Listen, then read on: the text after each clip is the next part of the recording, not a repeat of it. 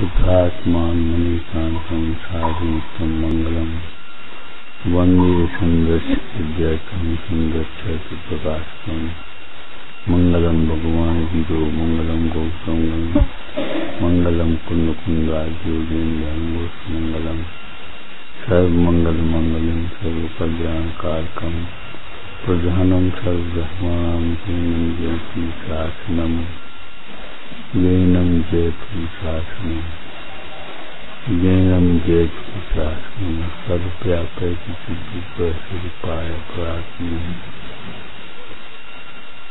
उपलब्धि प्रसिद्धाया ज्ञानानंदात्म जीवमजीवम दर्पम जनवर्ष सिंह जिंद दुखम देवेंद्र वंदम वंदे संसदास्ते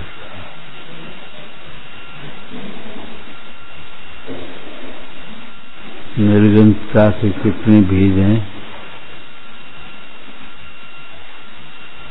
एक तो है निर्गंत स्वरूप। एक है निर्गंत दृष्टि। एक है निर्गंत भावना। एक है एक देश निर्गंतता वो एक है पूर्ण निर्गंतता बकुश कुशील निर्गंथ था स्नातका निर्गंथ था सामान्य रूप से सबको निर्गंथ कहेंगे, लेकिन विशेष रूप से कहेंगे, पूर्णता के रूप से बारहवें गुण स्थान बढ़ती जीवों को। निर्गंथ स्वरूप सबके पास है। निर्गंत दृष्टि नहीं है, तब तक निर्गंत दशा का प्रारंभ कहाँ से हो?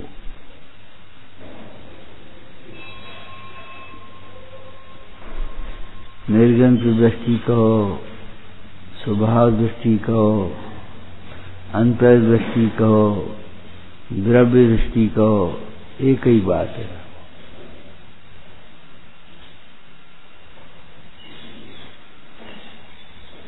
निर्गंध दृष्टि, निर्गंध दिशा का मूल है। जब तक निर्गंध दृष्टि नहीं होती, तब तक निर्गंध दशा होने पर भी।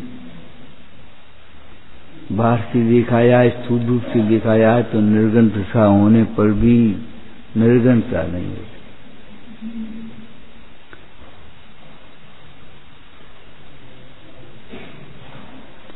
जीव को अपने निर्गन स्वरूप की खबर नहीं निर्गन दृष्टि नहीं, बस निर्गन दशा, ऐसा समझते जैसे कोई शरीर की दशा हो।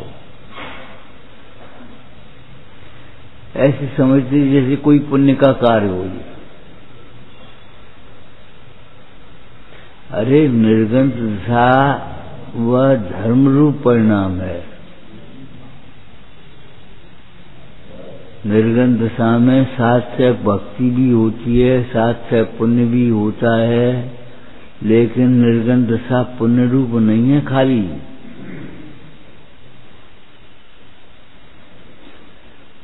अकेला पुण्य नहीं हुआ।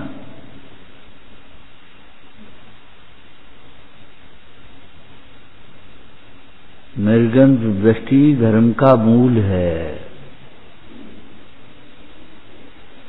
निर्गंध दृष्टि के बिना निर्गंत दिशा नहीं ही होती। निर्गंत दृष्टि होने पर निर्गंत भावना सतत बढ़ती है, सहज बढ़ती है। क्यों? वह रुचि का कार्य क्या चर्चा चल रही थी अपनी? आत्मा धर्म रूप परिणमित हो यह मनोरथ है। रुचि का कार्य है ये। निर्गंध दिशा रुचि का कार्य है। पंचेंद्री के भोग रुचि का कार्य नहीं है। औपाधिक भाव है। ये रुचि का कार्य है। अनंतों जीवों में से कितने जीवों को अवसर है सुनने का? कुछ पता रहे? अनंतों जीव, ये त्रिभुवन में जीव अनंत। सुख तो चाहते हैं, लेकिन सुख का उपाय जाने बिना तर्क तर्क करके दुख सहते हैं। ये पता नहीं है सुख का उपाय क्या है। ज्ञानी तो होना चाहते हैं, लेकिन शास्त्र को पढ़ पढ़ करके ज्ञानी होना चाहते हैं। ये पता नहीं है कि ज्ञानी कैसे हुआ जाता है। ज्ञान स्वरूप आत्मा को अनुभवते हुए ज्ञानी हो जाता है। सहज। तुमने टकासी जवान ला डाली निर्गंध स्वरूप सबके है, पारिणामिक भाव, पंचम भाव। कौन सा पंचम भाव? पंचम गति के अभिलाषी, इस पंचम भाव का स्मरण निरंतर करते रहते अंचित पंचम गते पंचम भावम स्मरंत विद्वान से संचित पंचाचारा परिग्रह प्रपंच परिहीना। समस्त परिग्रह से रहित पंचम भाव का स्मरण काय के लिए? पंचम गति के लिए करते हैं।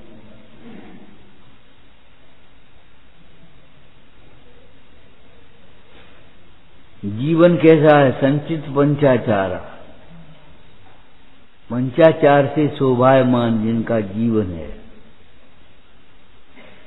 पंचाचार जिनका धन है, अविनाशी धन है।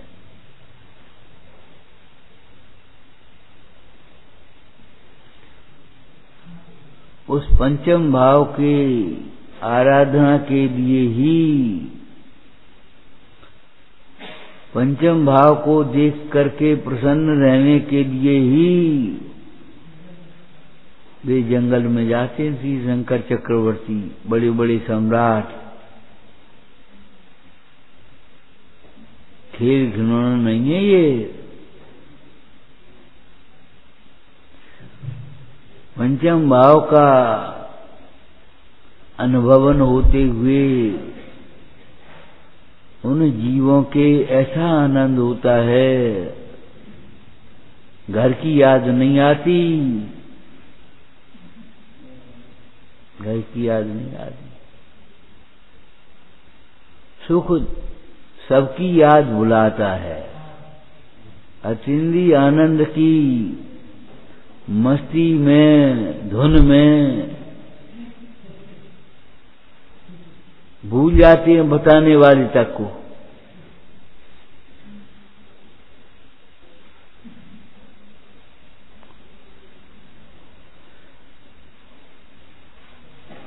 जैसे बालक माँ से लिपट जाता है, भूल जाता है उस सिपाही को भी जिसने मिलाया माँ से।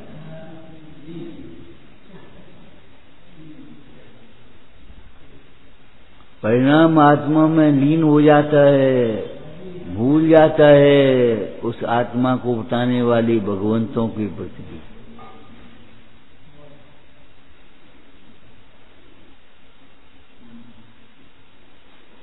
क्या समझते को ये रूखा? रस निकल गया तो तो नीरस रह गया।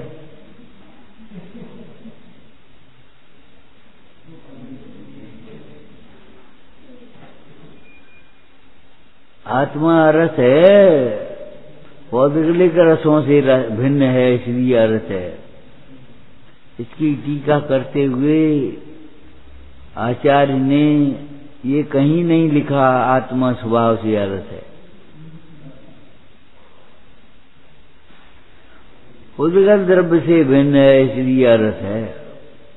उदर द्रव्य के गुणों से भिन्न है, इसलिए आत्मा रस है। माने पुद्गल में रस नाम का गुण होता है, आत्मा में रस नाम का गुण ही नहीं है।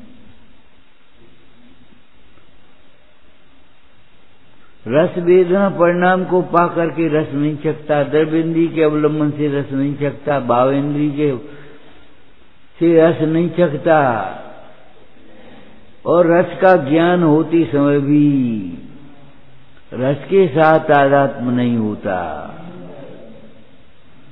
इसलिए आत्मा रस है। मतलब आत्मा स्वभाव से रस है। नहीं लिखा तो नहीं लिखा, कोई बात नहीं। लेकिन रस के साथ आध्यात्म नहीं होता, ये अरस हो गया कि नहीं हो गया? स्वभाव से अरस है कि नहीं? नींबू में रस है कि नहीं? नींबू में मौसमी का रस नहीं है, संतरा का रस नहीं है, अनार का रस नहीं गन्ना का रस नहीं है। बोलो, लेकिन नींबू में नींबू का रस है। आत्मा रस है कि नहीं? आत्मा में पुतल का रस नहीं है। लेकिन आत्मा में सर्वांग पूर्ण है रस, लबड़ खिल लीला, ठानी। आत्मा में आत्मा का रस है। ऐसा उत्कृष्ट रस है। जिस रस का स्वाद आने पर सारे स्वाद फीके हो जाते हैं। क्या मिट जाती है।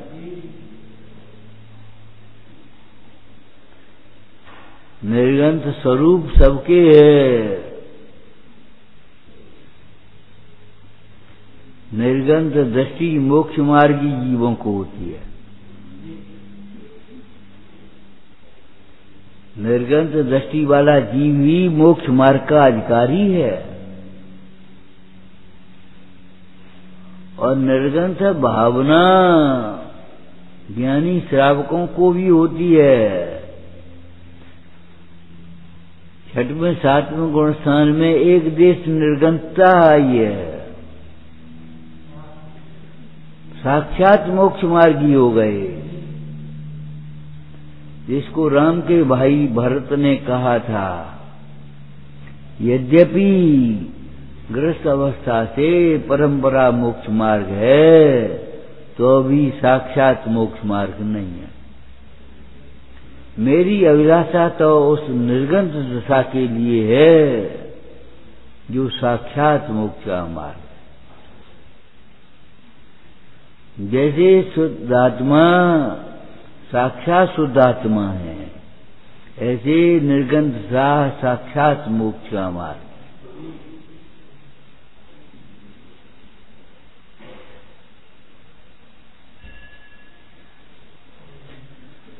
बारहवें गुणस्थान में पूर्ण निर्गंधता।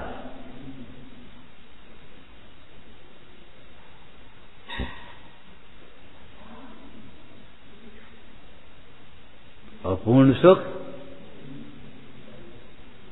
अभिनभावी संबंध है सुख और निर्गंधता का पूजपा स्वामी कहते हैं आत्म ध्यान से उत्पन्न आनंद के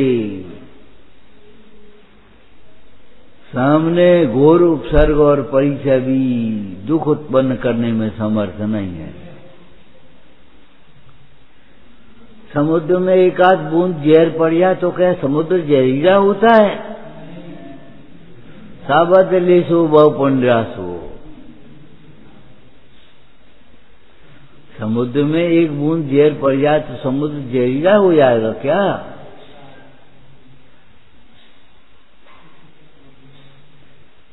क्या ये भगवंतों की दर्शन, पूजा, भक्ति सावध कार्य हैं? इस सावध के कारण सावध्य माने पाप। स अवध्य माने पाप। पाप से सावध्य कहते आरंभी हिंसा उद्योगी, हिंसा विरोधी, हिंसा जो रह गई, वो सावध्य है। भले संकल्प भी हिंसा छूट गई, लेकिन आरंभी हिंसा है सावध्य है। मंदिर बनाने में, सामग्री बनाने में, भगवान की पूजा, प्रतिष्ठा करने में सावध्य कार्य हैं। सामायिक आदि निर्बद्ध कार्य हैं, लेकिन फिर भी ज्ञानी जी सावध्य कार्य उनमें प्रवर्ती है। प्रवर्ती है। क्यों? क्या करें? निर्बद्ध में उपयोग नहीं रहता। तब तक।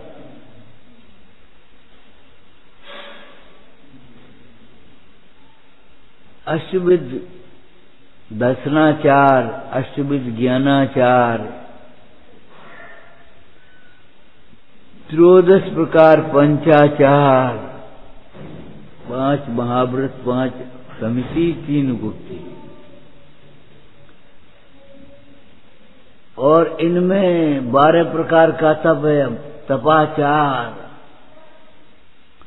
और इनमें शक्ति को न छिपाने रूप वीर्याचार मैं तुम्हें तब तक अंगीकार करता हूँ जब तक तुम्हारे प्रसाद से अपने शुद्ध आत्मा को प्राप्त न कर बोलो।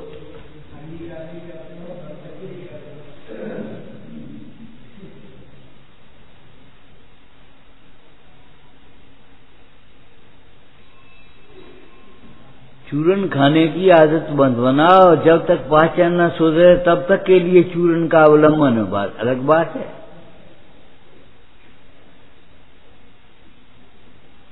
आलम्बनान विबुधान बलम विबलगन। जब तक अपने स्वरूप में लीन न हो जाए, तब तक ये भगवान की प्रतिमा का, भगवान का अवलंबन लेना अलग बात है। इनको अमृतचंद स्वामी ने हस्तावलंबन कहा है और उसके साथ साथ में एक शब्द लगाया, हंत। हंत हस्तावलंबन। अरे रे खेद है अवलंबन लेना।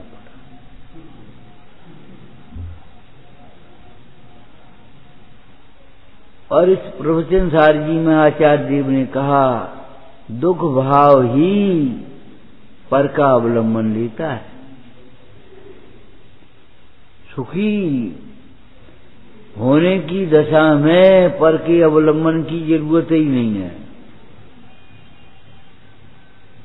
सह छूट जाता है, पर अवलंबन छूट जाता है, पर वस्तु छूट जाती है, पर का आश्रय छूट जाता है और स्वावलंबन का भी विकल्प छूट जाता है और स्वावलंबन हो गया।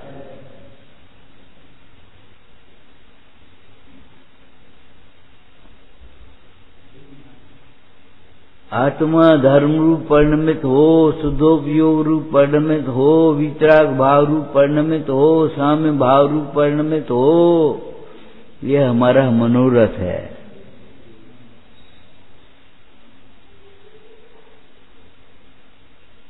उल्लास का कार्य है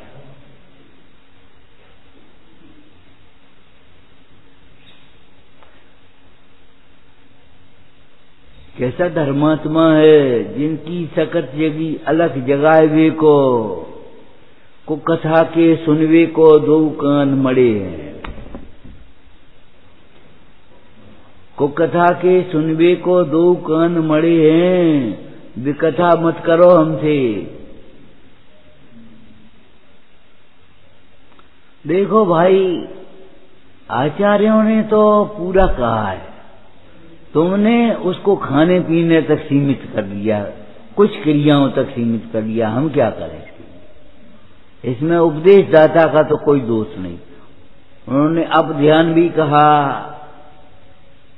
खोटा ध्यान मत करो, खोटी विचार मत करो। पापोपदेश भी कहा, पाप का उपदेश भी मत हो। पाप तो करो मत ही, कराओ मत ही अनुमोदना मत करो, पाप का उपदेश बुद्ध मत दे हिंसा का दान मत करो, हिंसा के उपकरणों का दान। जब तक वो उपकरण रहेगा, तब तक हिंसा होती रहेगी।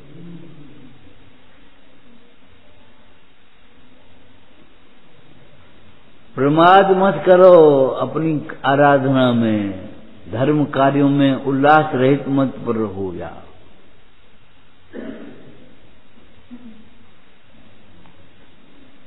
राग द्वेष करतार मत सुनो, बैरी बन जाओ। गूंग मत करो, गूँगे बन जाओ। बैठी बैठी समय गमाए रहे विकटा में समय गमाया है। आचार्यों ने तो पूरा लिखा है, अहिंसा, सत्य अचोर ब्रह्मचर्य, परिग्रह।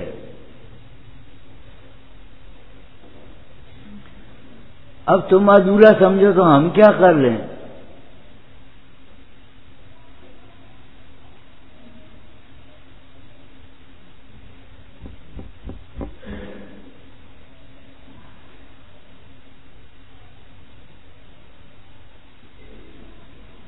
हम तो सामायिक भी करते हैं। अरे भैया, सामायिक में करना नहीं है, करने में सामायिक नहीं। सामायिक जानने रूप है, ज्ञान के भवन मात्र है। एकाग्रता लक्षण वाली है, आत्मा मय है समय सारमय है। बोलो, सामायिक की क्या परिभाषा है? समयसार जी में है कि नहीं है? एकाग्रता लक्षण है, ज्ञान की भवन मात्र है समयसार स्वरूप है।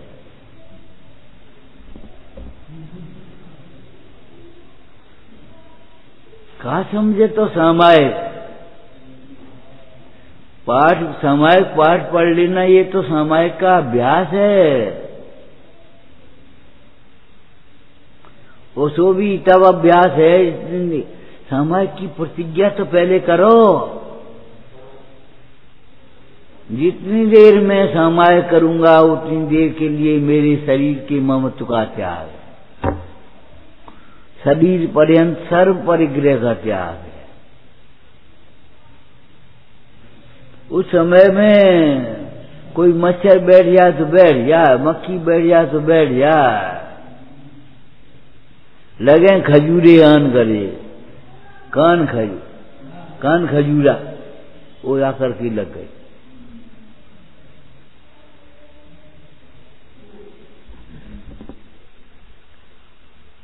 सामायिक स्वाध्याय की सार्थकता है। स्वाध्याय का फल है। स्वाध्याय से आदि चंचल मन भी एकाग्र होता है, तब सामायिक होती है। समता भाव की भावना स्वाध्याय है और समता भाव सामायिक है।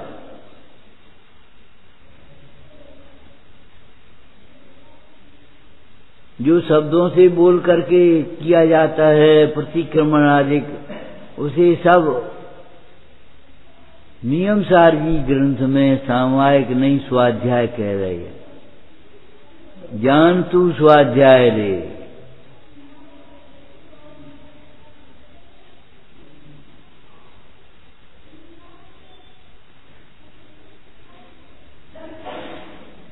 रुचि का कार्य है हमारा। आनंद आता है हमें उनमें।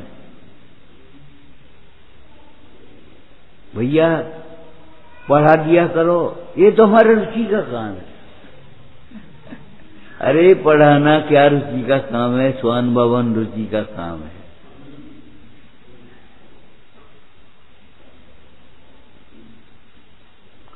उसमें विघ्न करने वाली बहिर्दृष्टि है। बहिर्मोह दृष्टि कहो, बहिर्दृष्टि कहो।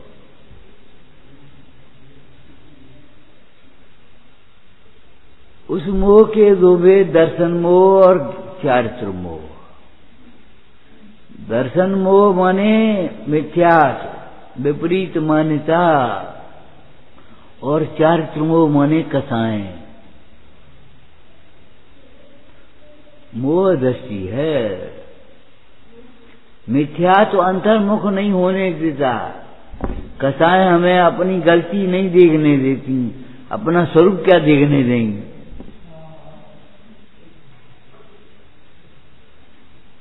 कसायों की तीव्रता भी तो ये हमें अपनी गलती भी नहीं देखने देती, स्वरूप क्या देखने देगी?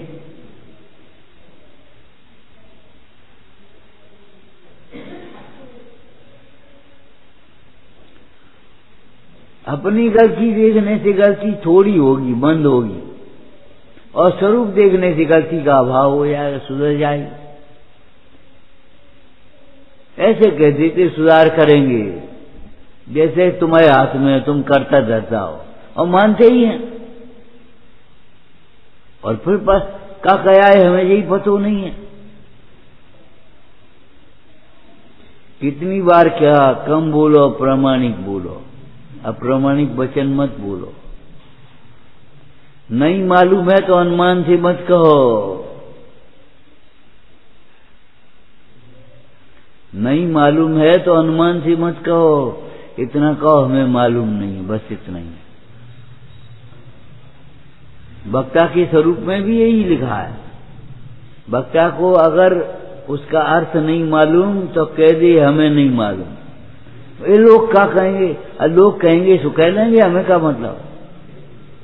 लोगों के लिए धर्म कार्य थोड़ नहीं है।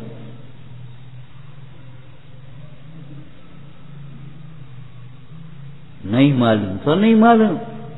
अप्रमाणिक मत बोलो। खेत वह होंगे। तुम्हें मालूम है? तुम्हें मालूम है, हैं कि नहीं है? होंगे बस। जो ही ठोंक दिया,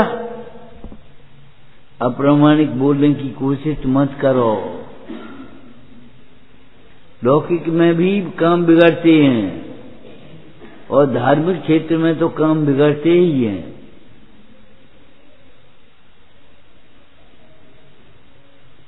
अनुमान से मत कर, रोटी बन गई।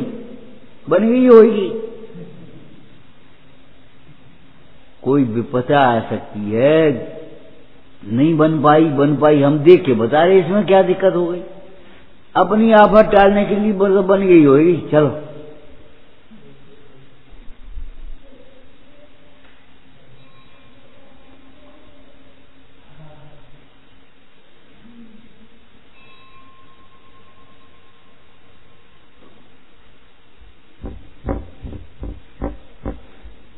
उसमें विघ्न करने वाली केवल हमारा एक मोह है और कुछ नहीं।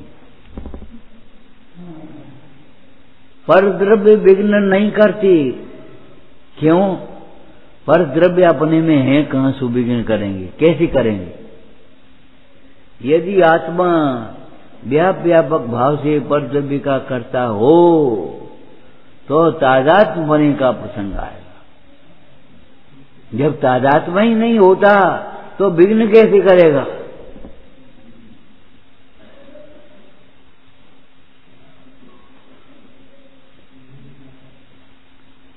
प्रबल कारण अंतराय कर्म का उदय एक व्यक्ति को बताया किसी ने, राजा का अभी मरण होगा और तुम राजा बनोगे। वो तुम राजा बन जाओगे अभी। उन्हें अच्छा राजा हम बन जाएँगे, कैसे बन जाएँगे?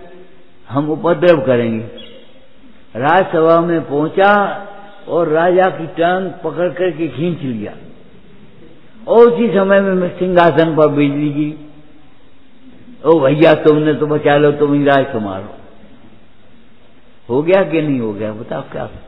मतलब उसने टांग इसलिए तो खींची नहीं थी, हम राजा बन जाए। देखें कैसे बन जाए। अरे, अहंकार मत करो, देखें कैसे बन जाए।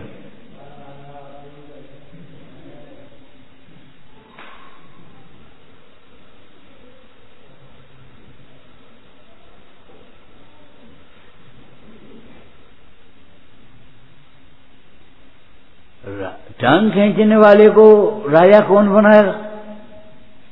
तुम्हारी टांग खींचे पकड़ के तो तुम जी बताओ तुम अपना पद कैसे दे दोगे उसे? उल्टा उल्टा काम हमने आपसे कई बार कहा, धर्मात्माओं से ईर्षा करता है और धर्म प्राप्त करना चाहता है। अरे, धर्म प्राप्त करने की पात्रता तो ये है, धर्मात्माओं से बहुत प्रेम हो, अंतरंग प्रेम हो कपट रहित प्रेम हो। प्रदर्शन नहीं, प्रेम।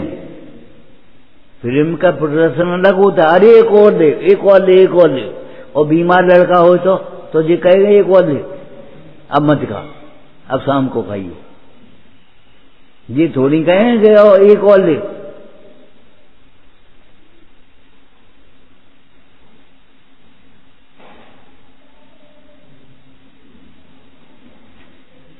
प्रेम का प्रदर्शन अलग है, प्रेम अलग है। प्रेम के भाव में जहाँ तारना चाहिए, वहाँ तारना है। जहाँ प्रेम चाहिए, वहाँ प्रेम है। और प्रेम के प्रदर्शन में प्रेम ही प्रेम है तारना नहीं।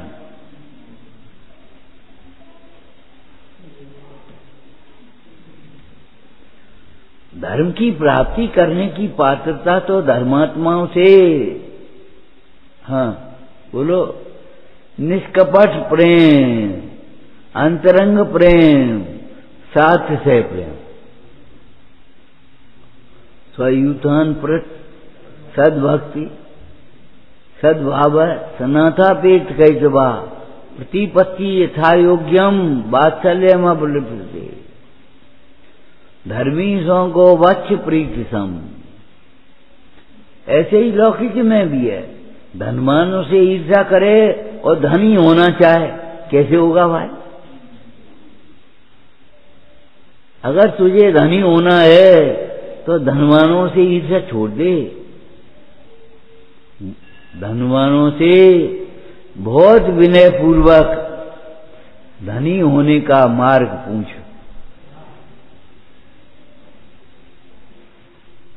धनी होने का मार्ग पूछे। मार्ग क्या। है तुम जो समझते हो वो धनी होने का मार्ग नहीं है। दुकान खोलना, दुकान चलाना, बिना पूजा कई दुकान पर पहुँच जाना। ये धनी होने का मार्ग नहीं है। धनी होने का मार्ग तो क्या है? तेरे अंतर में धन है। तू अपने धन को पहचान। धनी होने का मार्ग पुण्य है। बाहर में, अब पुण्य परिणाम के पुण्य उदय पुण्य परिणाम भी चाहिए और पुण्य उदय भी चाहिए। और पुण्य किसके होगा? पवित्र पुरुषों की भक्ति, पवित्र वाणी का स्वाध्याय, पवित्र गुरुओं की संगति, पवित्र भावना। ये पुण्य का कारण हुआ। अब पवित्र गुरुओं की संगति नहीं है, पवित्र गुरु पुरुषों की गुणगान नहीं है तुझे अंतर में बहुमान नहीं है। तो कहाँ से पुण्य भी कहाँ से आएगा? हमने आपसे कहा था, इस पत्थर पर घास पूछ भी नहीं होगी, गेहूँ तो बहुत बड़ी बात है। कछु नहीं अपने लायक तो गेहूँ निकल ही जाएँगे डाद ने कि डाद चिड़िया खा जाएँगे और कुछ में ए पत्थर पर भैया, घास पूछ भी नहीं होगी। तुम धर्म के चक्कर में नहीं रहना, पुण्य भी नहीं होगा बिना परिणाम होगा बंद मोक्ष परिणामन सोई। पुण्य और पाप भी परिणाम से होता है। परिणाम में होता है।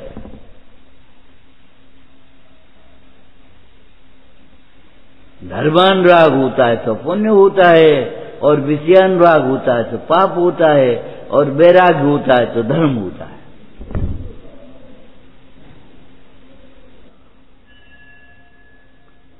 सकल ठीक रहे। अरे, पाप होता है। साम भाव हो, चेहरे पर वह चेहरा शोभा पाता है। क्या देख रहे हैं? खोला पालकी। शिवाजी कह रहे हैं पालकी खोल दो अब वो स्त्री तो ऐसे ऐसे कप रही है। काश मेरी माँ ऐसी सुंदर होती। बधा, आप डरो मत। हमारे सिपाही के अपराध के लिए आप क्षमा करो हमें। आपको तो आपके घर पहुँचा देंगे।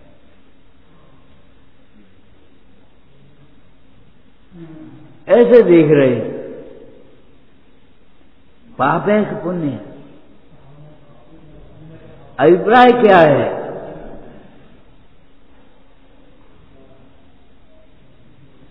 एक जन तुमको अब लो।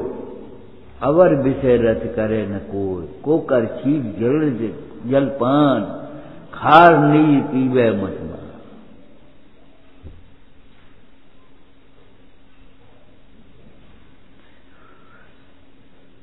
धर्म की प्राप्ति में विघ्न करने वाला हमारा मोह है। मोह के नाश के बिना धर्म का प्रारंभ भी नहीं होता। इसलिए हम आपसे कहते हैं, जिसे तुमने धर्म मान लिया, वो धर्म नहीं है भैया। जिसे ज्ञान मान लिया, वो ज्ञान नहीं है। जिसे सुख मान लिया, वो सुख नहीं है। इंद्री सुख समस्त दुखों का मूल है। इंद्री ज्ञान दुखों, अज्ञान का मूल है। और जैसे धर्म मान लिया, संतुष्ट हो गए, अब धर्म तक पहुँचेंगे भी फ़ाइल ही बंद हो गई। हमने तो धर्म कर लिया। हम तो धर्म कर रहे हैं भगवान, आत्मा को समझे बिना धर्म की कल्पना कर रहे हो।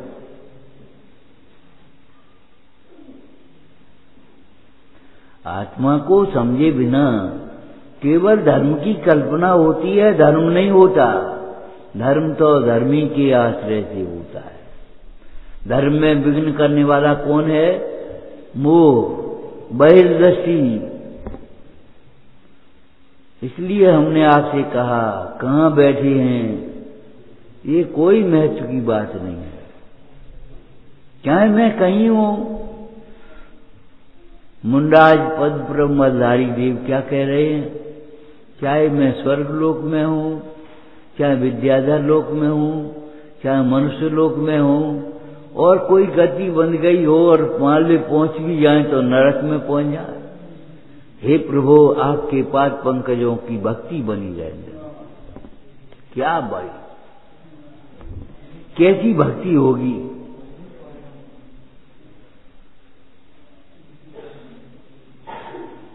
अहंकार में ये भक्ति का लेख नहीं है। गाओ बजाओ गाओ बजाओ गाओ बजाओ, भक्ति हो गई, भक्ति हो गई। पंडित टोडरमल जी ने कहा, भक्ति करता है तो किसकी भक्ति करता हूँ? किस लिए भक्ति करता हूँ? कुछ खबर नहीं। भक्ति करता है तो दृष्टि किधर ही घूमती है? जो भगवंतों के सामने भी भगवंतों को नहीं देखते हैं, वे पापी हैं। इधर उधर देख रहे भगवंतों के सामने भी भगवंतों को नहीं देखा। तुम्हें ये विचार नहीं आया, अपना स्वरूप ही देखने योग्य है।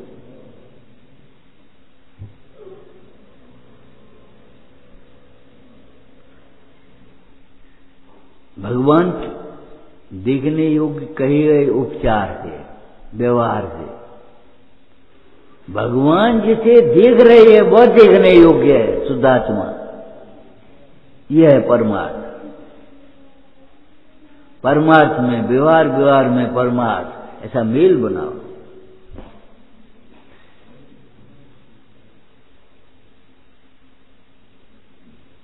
क्लास में बैठे हुए अच्छे विद्यार्थी को, बगल के विद्यार्थियों को देखने की फुर्सत नहीं है। वो तो ऊपर देख रहा है, अपनी कापी पे देख रहा है।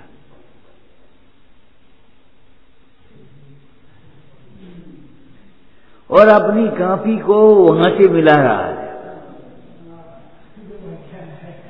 और अब वहाँ पर उपयोग लगा करके समझ रहा है, हमें उपयोग नहीं है। मरी बैठी हो जन इनका मनोरंजन के लिए बैठी हो, टाइम पास करने के लिए बैठी हो। बस आया चले आओ आइए हम चुप होकर के। बोलेंगे भाई क्यों? तुम मानते ही बोलियो अपने को? हम शरीर हैं। हम आत्मा है ये माना ही नहीं अभी।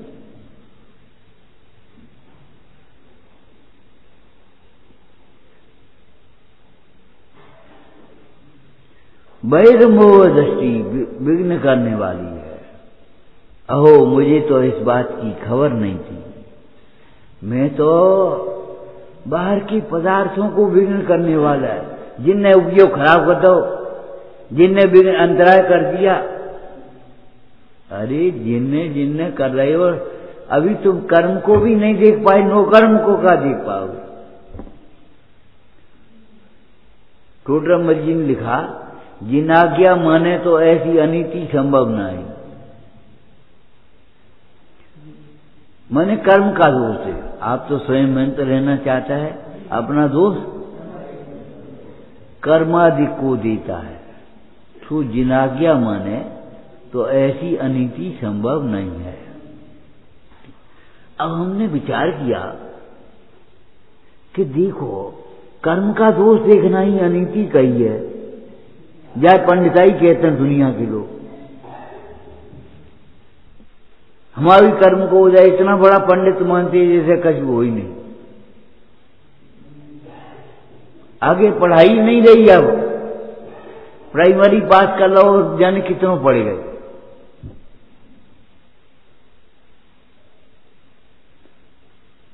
कर्म का दोष देखना ही अनिति कही तो नो कर्म का दोष देखना कितना अनीति होगा?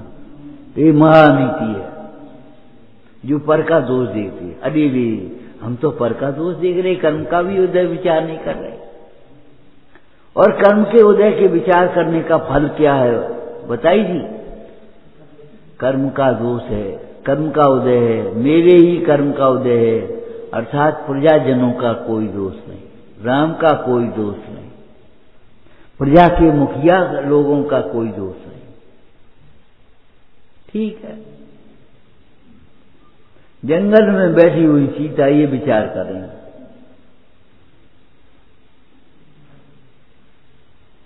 उदय का विचार करें तो कर्तव्य की सिद्धि होगी। ये थोड़ी है कि उदय का विचार करें तो कुछ भी, फिर तो कोई कर्तव्य नहीं रहेगा। ये बाहर का काम करने वाले कर्म के उदय हैं। तुम्हें रोटी देंगे कर्म का उदय। आज तुम्हारी कर्म का उदय तो नहीं मिलेगी। आ, कर्म का उदय नहीं है होगा तो क्षय सम होगा तो मिल जाए। ठीक है ना? देखो अपने घरों में तो एक रिवाज है। भोजन बनाने वाले को सबसे बाद में मिलती है। भोजन बनाने वाले को भोजन सबसे बाद में मिलता है। अब तुम खाए देखो। सोचना सबसे पहले किनको मिलता है? पहली भोजन मुनराज का होता है। मुनि को भोजन दे, फिर निज करें आ हमारे यहाँ भी पहली रोटी कहीं भी नहीं खाते। या तो माली को डालो या गैया को डालो। माने पहले दान, फिर भोजन। दान बिना का भोजन करने वाले के भाव विशुद्धि नहीं होती।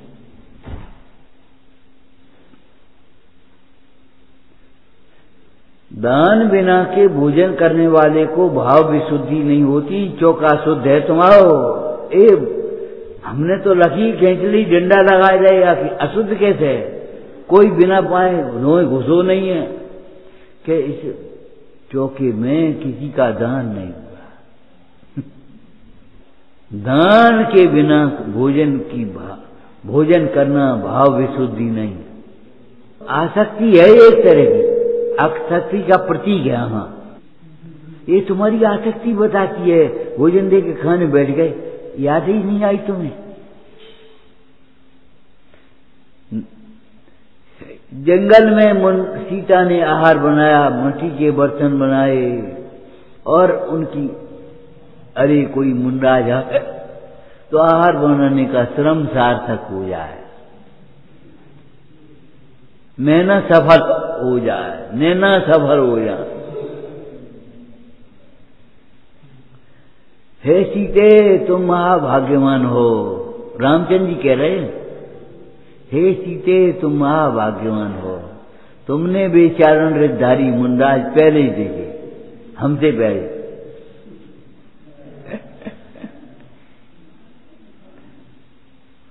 देखो वे मुंडाज आए दे आए कहाँ है? कहाँ अब तब तक दिखाई देने लगे। तब राम ने देखे। समीप आए, हे स्वामिन, आओ आओ, तिष्ठो तिष्ठो।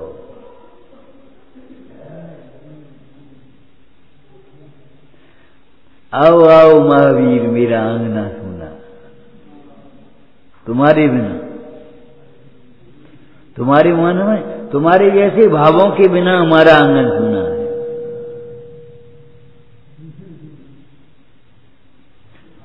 तुम्हारे जैसे वितराग भाव के बिना हमारा आँगन सुना है।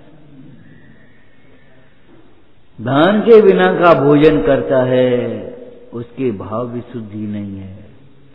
और धन को ही धर्म मान लेता है। उसके कभी विशुद्धि नहीं।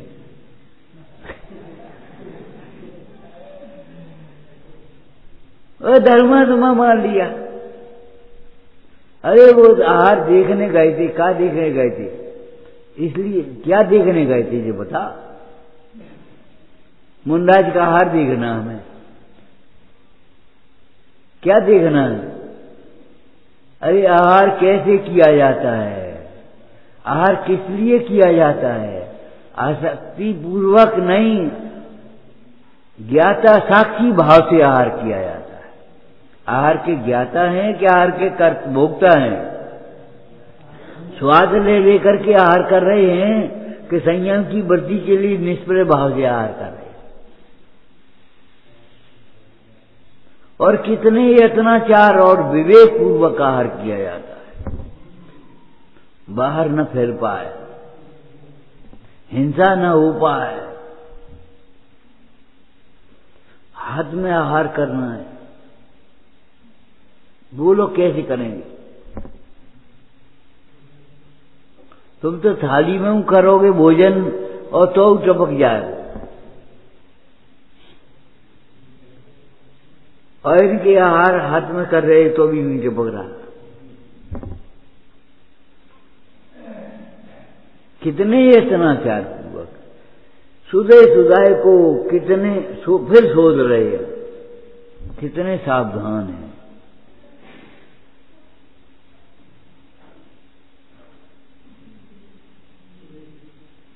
तल के भूखे हंसू लग गई। अरे ऐसा नहीं भाई। कोट रमल जी ने कहा ज्ञानी झपटा मारता है। अज्ञानी। ज्ञानी झपटे नहीं मारते।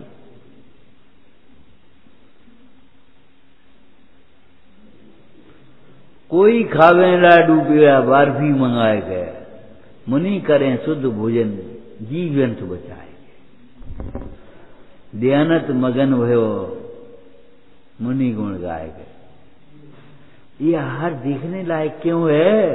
क्यों आहार करते समय भी वे अपने को देख रहे ये आहार करते समय भी आहार कर कहाँ रहे हैं? आहार को जान रहे हैं? और आहार को जान रहे नहीं है? आहार से निरपेक्ष जाता है। इसलिए उनकी कथाएँ इतनी मंद हो गई कि कुछ सरस और नीरस का भेद नहीं नमक है कि नहीं है, मीठा है कि नहीं है, नींबू नहीं है कि नहीं में मिर्ची है कि नहीं है, घी है कि नहीं है, कुछ खबर नहीं।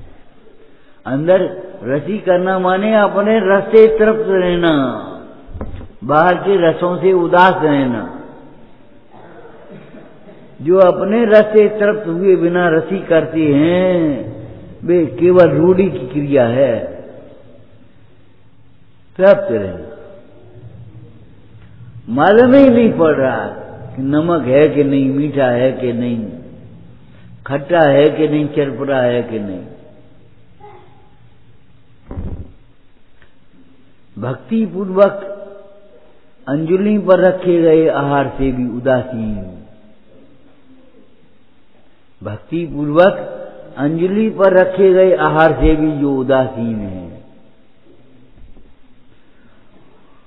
उन ओ, उन मुनीश्वरों को योगीश्वरों को आहार लेते हुए भी अंतरंग से साक्षात अनाहारी कहा। क्यों अनाहारी स्वरूप पर दृष्टि है? अनाहारी दशा की भावना है। और अनाहारी दशा की भावना भाते भाते अनाहरी दशा कोई प्राप्त करने के लिए आहार कर रहे हैं और कोई भाव नहीं।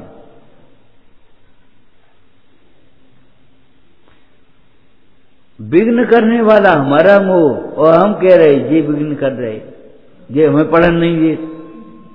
ये हमें खान नहीं दे। ये हमें सोने नहीं देते। उठो। उन्होंने तो सोचा कि अभी समय करेंगे, अब तो इन्हें उठा दे। और जे कुड़कुड़ाए, हमें सोनू नहीं दियो।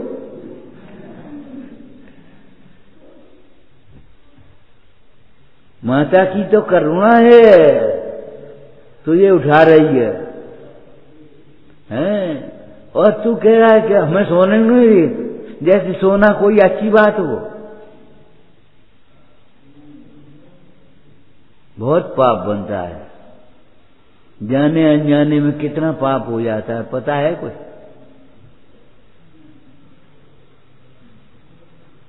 जिसको पाप मान रहे वो पाप है, और जिसको नहीं मान रहे, सो पाप है। अब क्या करें?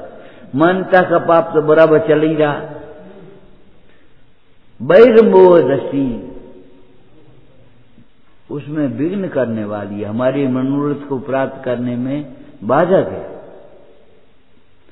हे भाई, तू सर प्रकार से निर्मोही, गाढ़ प्रयत्न कर निर्ममता उपजा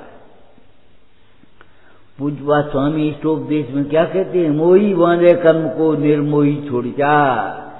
ताते गाढ़ प्रयत्न कर निर्ममता उपजा अपने को पहचाने बिना कैसे निर्मम हो पाओगे? जिनवाणी से पहचानोगे तो पात्र बनोगे और स्वानुभव से पहचानोगे तो निर्मोही हो जाओगे विचारना प्रमोदता हे जिनवाणी भारती